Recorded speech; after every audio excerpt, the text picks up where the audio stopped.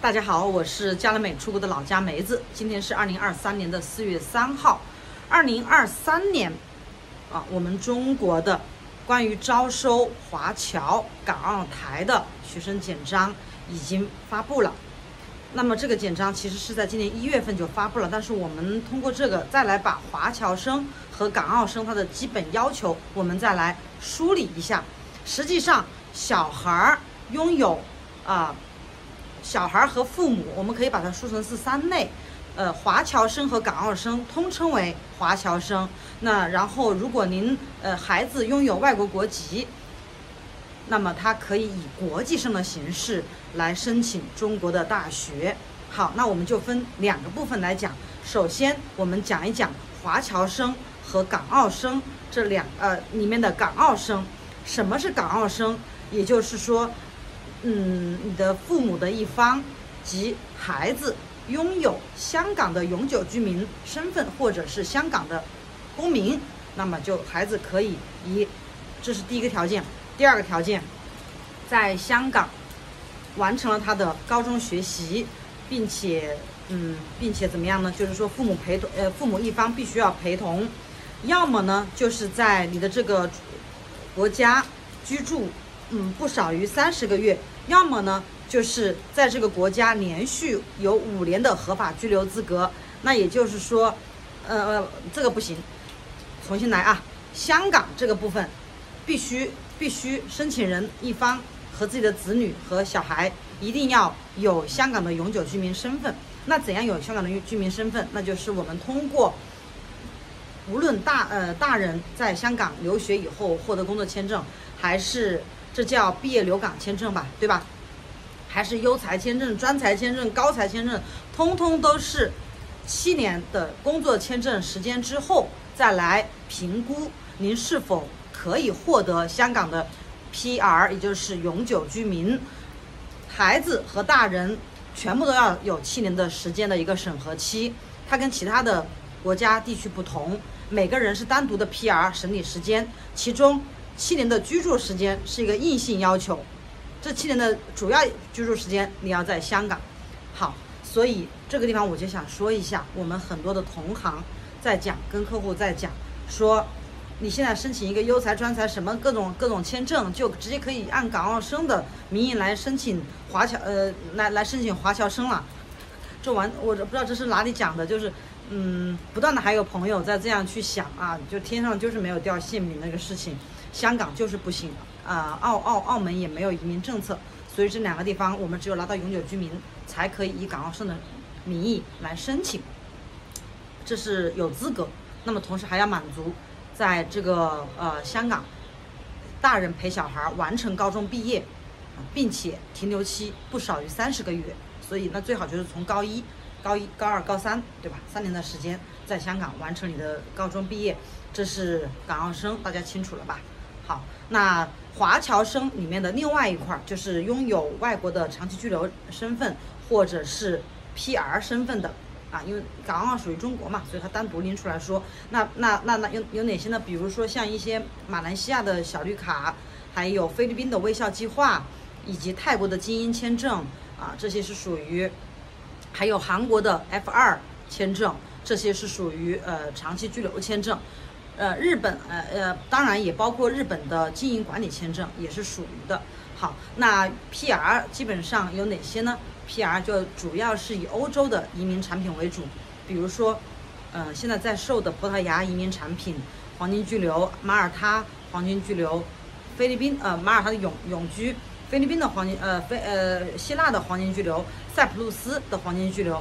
呃西班牙的黄金居留，这些因为法案还在。所以这些呃都是属于绿卡呃就是绿绿卡项目永居项目都可以申请，都可以申请这个，嗯，在华侨生里面就符合这个 PR 这个情况，这是满足条件一，条满足条件二还是刚才和港澳生一样的，就是呃父母其中有一方要陪同子女在呃这个获得长期居留签证或者是绿卡的国家要一起陪同他三十个月。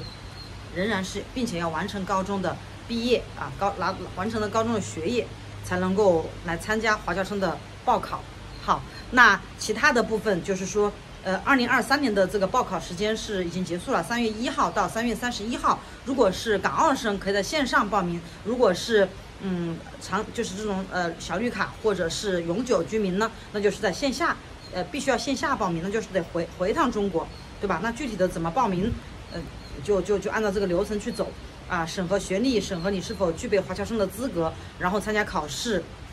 有理科。有文科两个部分，理科呢就是考中文、数学、英语、化学、物理；文科呢就是考中中文、数学、英语、历史、地理。